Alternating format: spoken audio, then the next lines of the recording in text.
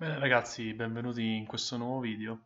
In questo video ci occuperemo di eh, prendere gli input dal, giocatore e trasformarli in effettivo movimento della, del nostro game object player. Tutto questo lo faremo tramite degli script in C Sharp che ci accingeremo a creare eh, praticamente a breve. Per creare degli script creiamo innanzitutto una cartella chiamata scripts dove all'interno metteremo tutti i nostri script in modo tale che avremo sempre il tutto il più possibile ordinato. Creiamo uno script chiamato player movement e doppio clicchiamolo in modo tale che l'IDE di Visual Studio si possa aprire. Per effettivamente far muovere l'oggetto bisogna riferirsi al suo rigid body che abbiamo aggiunto nel video precedente quindi scriviamo una variabile rigidbody2d body e nella funzione start otteniamo il reference diciamo al rigid body che ha dato al nostro, al nostro oggetto e questo si fa tramite la funzione getComponent. In questo modo quindi abbiamo mh, mm, immagazzinato all'interno del contenitore body il nostro rigid body di riferimento e possiamo quindi agire su questa funzione per ottenere, i, per ottenere e per influenzarne il movimento. Adesso dobbiamo inserire all'interno di update, che è il nostro ciclo, ehm, le funzioni che ci permettono di ottenere i dati di input rilevati da tastiera o da mouse o da qualsiasi altra forma di input e trasformarli quindi in movimento per il nostro giocatore. Siccome a me piace sempre creare le cose il più possibile ordinate, creiamo una funzione nuova chiamandola movement e qui prendiamo i nostri valori che ci servono per applicare il movimento. Creiamo quindi due variabili tipo float nel quale inseriamo tramite la funzione getAxisRow della classe input le informazioni relative all'asse orizzontale e all'asse verticale. Questo, queste informazioni ci permetteranno di capire se effettivamente i tassi sono stati o meno cliccati. E la cosa molto comoda della classe input è che questi verranno rilevati in qualsiasi sia l'asse del, della periferica di gioco, che sia essa una tastiera, che sia essa un joystick. E tutte queste informazioni si possono settare nel, nei, nelle settings di Unity. Adesso creiamoci un vettore, un vettore di tipo 2D, vector 2, chiamiamolo movement e immagazziniamo al suo interno le informazioni dell'input. Adesso per applicare il movimento dobbiamo semplicemente riferirci alla funzione movePosition partire dalla posizione di partenza del, dell'oggetto che la rendiamo tramite body.position a dare il movimento normalizzato perché ci interessa esclusivamente il, la sua direzione e moltiplicarlo per il valore per la differenza fra i due frame in modo tale che abbiamo un movimento il più possibile fluido. Non ci dimentichiamo di inserire la funzione all'interno del ciclo update in questo modo. Salviamo Adesso per effettivamente applicare eh, questo script all'oggetto ci basterà trascinarlo e metterlo dentro l'oggetto player ed eccolo qui. Avviamo il gioco e vediamo quello che succede. Io in questo momento sto premendo VSD, forse non si vede, però il movimento è effettivamente come lo voglio, ovvero è fluido, però è molto lento. Quindi questo vuol dire che dobbiamo moltiplicare questa direzione di movimento per un fattore, un fattore velocità. Creiamo quindi una variabile di tipo float e chiamiamola speed. Io adesso inserisco questo valore 5f perché eh, già quando spesso quando creavo altri giochi eh, mi trovavo bene per questo tipo di giochi top down. Comunque per moltiplicare basterà che appunto inseriamo un altro fattore moltiplicativo proprio come abbiamo fatto per time dot delta time e in questo modo il nostro vettore movimento, il nostro nuovo vettore movimento sarà influenzato da questa velocità. Vediamo adesso come va e direi che va abbastanza bene. Però vi sono alcune cose che, di, di, cui vorrei parlare. Ipotizziamo che, ipotizziamo che io vorrei fare dei test con la velocità, vorrei vedere quella che più mi aggrada direttamente dal gioco, senza mettermi ogni volta a cambiare lo script. Per fare questo ho due modi. Posso o inserire cambiare diciamo, la visibilità della variabile in public, in questo modo la variabile diventa accessibile a tutti gli altri script, ma diventa accessibile anche nell'editor. Come potete vedere qui è spuntata la variabile speed che io posso cambiare, posso mettere per esempio 8 e questo, questo valore cambierà il mio effettivo movimento, come potete vedere infatti è molto più rapido rispetto a prima. Però questo la rende accessibile anche dagli altri script, anche in scrittura, e questo non è di solito un bene. Di conseguenza è meglio utilizzare un altro metodo che si chiama Serialize Field, che rende il campo semplicemente cambiabile esclusivamente dall'editor. Basta scrivere in questo modo e subito dopo la variabile che c'è scritta dopo è serializzabile, quindi nell'editor è cambiabile. Dalle, da, da qui teoricamente non dovrebbe essere cambiata nulla, poiché l'editor non percepisce diciamo, nessuna differenza, quindi noi possiamo sempre modificare la nostra la nostra velocità, la possiamo fare anche mentre il gioco è eh, runtime, quindi possiamo fare i nostri test finché non troviamo la velocità che più ci piace.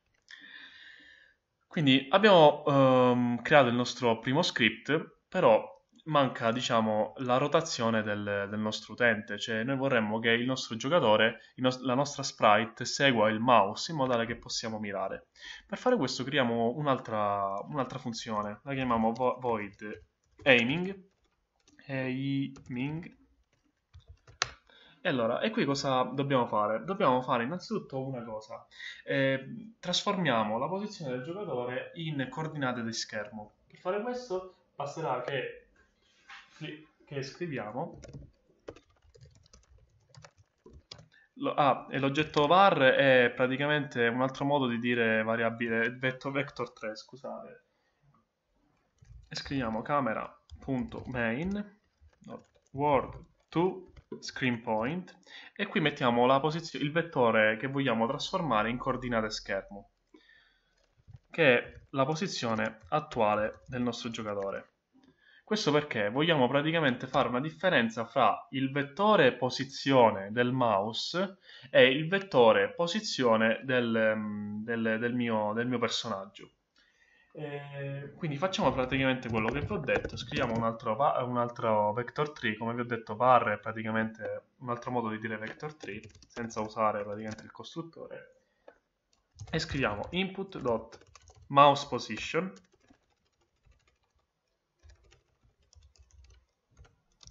meno il vettore che abbiamo creato in precedenza.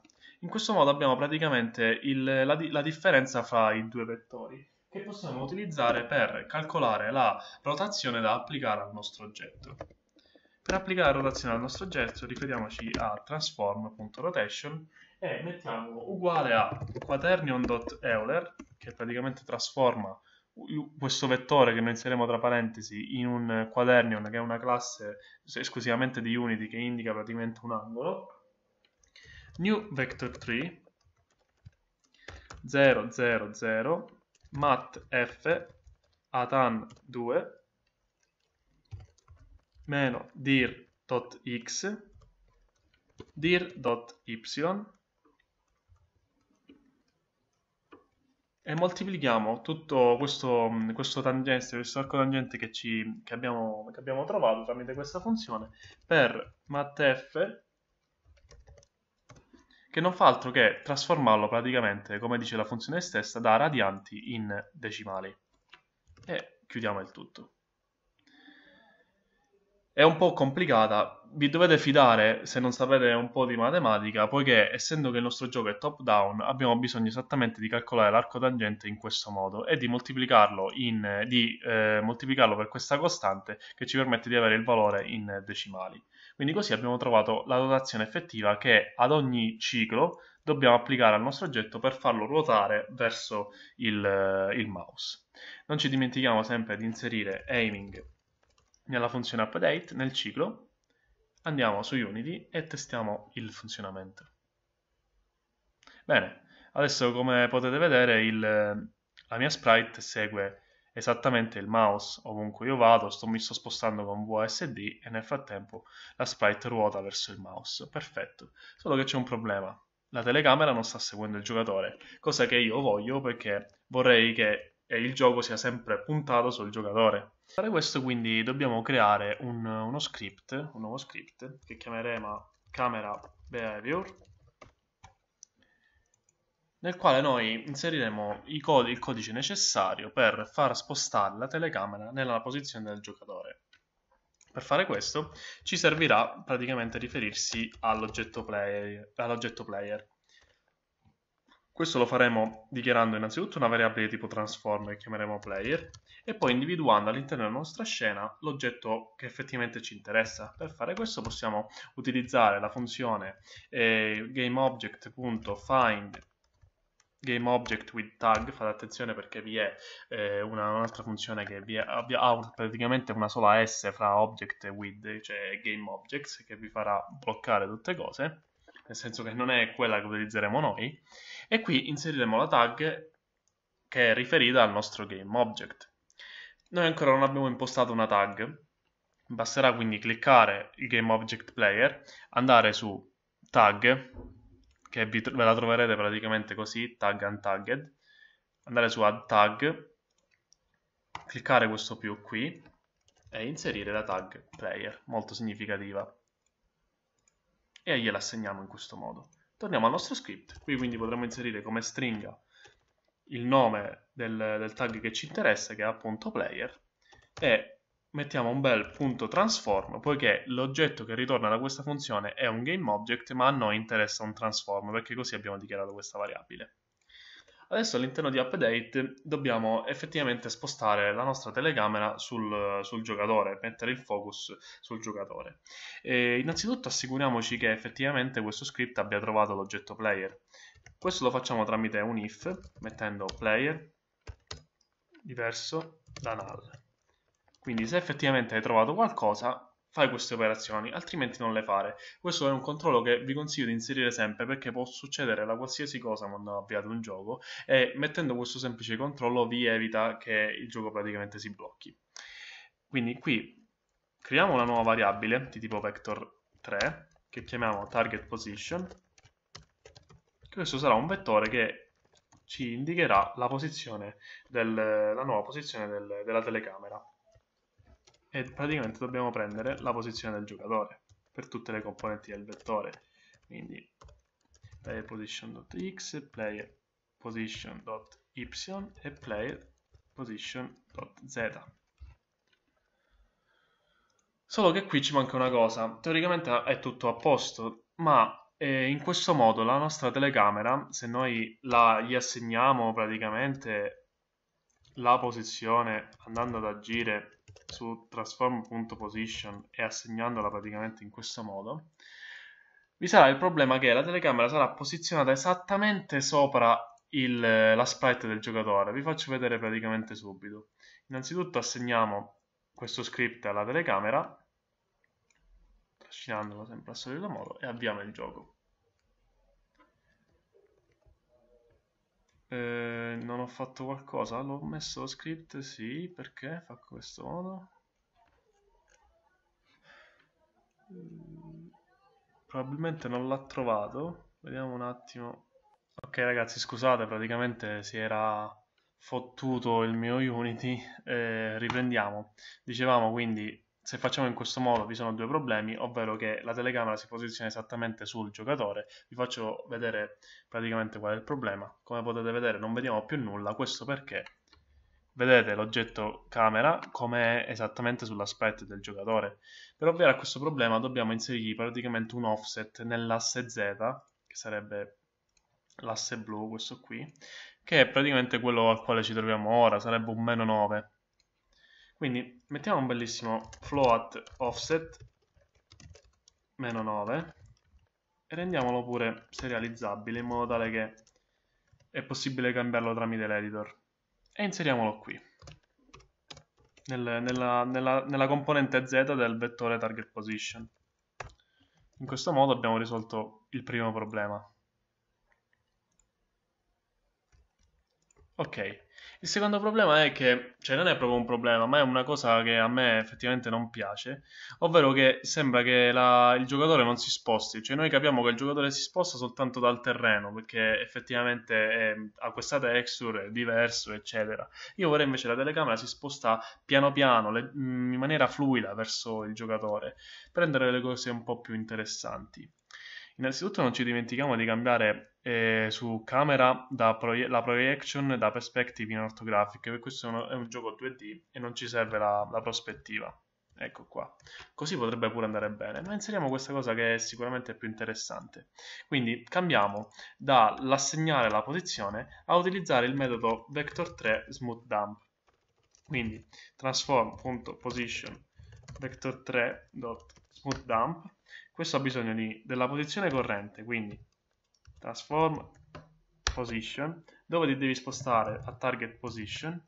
Poi hai bisogno di un vettore passato per riferimento velocity, che lo dichiariamo subito, vector 3 velocity, possiamo mettere tranquillamente vector 3.0 che sarebbe un vettore nullo, glielo passiamo per riferimento, quindi ref velocity, e dopo ha bisogno di una, uno smooth, cioè una, un float che gli sta a indicare quanto velocemente deve effettivamente posizionarsi nella, nella posizione.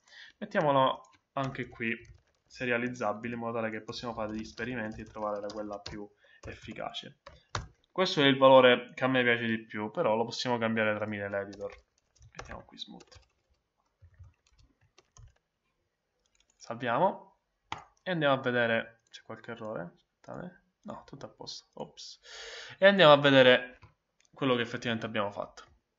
Ecco, vedete adesso quando il giocatore si sposta, si sposta in maniera, diciamo, piano piano, la telecamera lo segue ma non lo segue, se ci spostiamo tanto effettivamente sembra quasi che la telecamera non è più centrata, a me questo effetto piace, se non vi piace voi potete agire sul fattore di smooth e, e ridurlo, scusate, non aumentarlo ma ridurlo, quindi riduciamolo che ne so di 0.1 e così sarà molto veloce.